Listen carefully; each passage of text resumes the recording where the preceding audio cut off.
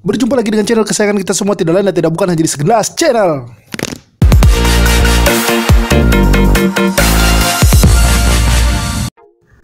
Pada video kali ini, segelas channel akan memberikan trik bagaimana mengatur ganjil genap pada Google Map.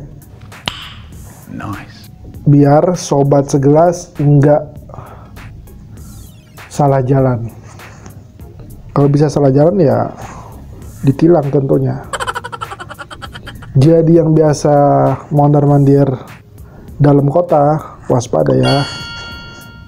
Kalian harus mengikuti tutorial ini. Pertama-tama kalian buka Google Maps. Nah, kemudian hmm, misalnya kalian dari kalian mau ke Monas?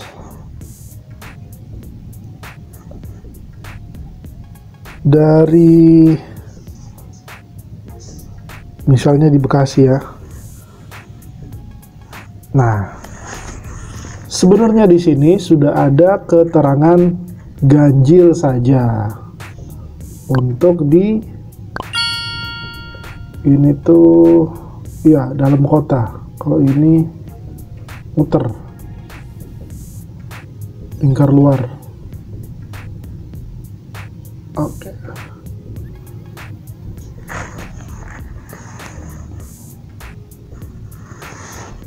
Dan cara settingnya biar Google Map notice kalau kalian memiliki kendaraan ganjil atau genap adalah caranya kalian klik arahan dan lain-lain. Kemudian hindari ganjil genap. Nah kalian di sini bisa memilih. Kalian punya kendaraan berlapis. Kok berlapis? Berplat genap atau ganjil? Contohnya kita pilih ganjil dulu ya. Selesai. Si aplikasi akan mengkalkulasi ulang kira-kira lewat mana. Oh kalian masih tetap diarahkan ke lingkar luar. Sama aja. Kalau misalnya kalau ke hmm, kuningan.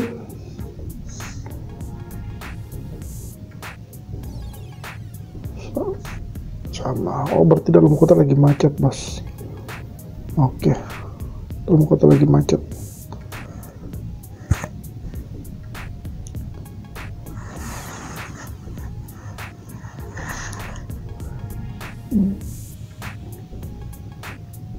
Oke. Jadi, menurut kalkulasi Google Map tetap menggunakan lingkar luar karena di dalam kota itu sedang ada macet panjang. Kayak sih pekerjaan jalan. Oke, itulah tadi cara mengatur Google Map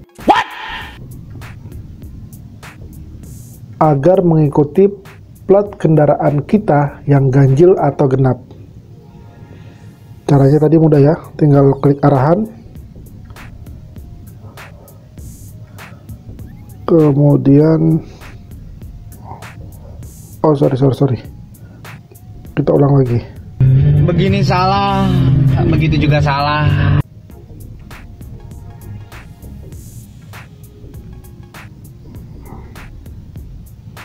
Arahan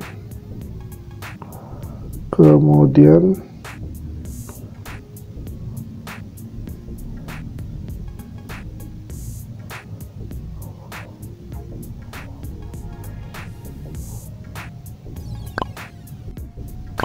Oh, dia langsung nongol di sini. Dia langsung nongol di sini tuh. Ya, ternyata. Goblok. Dia langsung nongol di sini. Kalau kalian punya ganjil ya udah genap tinggal pilih tapi jalurnya sama karena memang lagi ada pengerjaan jalan di dalam kota oke semoga tips ini bermanfaat untuk para pengendara yang biasa mondar-mandir Jakarta. Dukung terus channel ini dengan cara klik like, komen, share konten ini ke teman-teman kalian dan jangan lupa klik subscribe dan nyalakan logo loncengnya. Terima kasih telah menonton, sampai jumpa di video menarik berikutnya. Hati-hati jalan ya.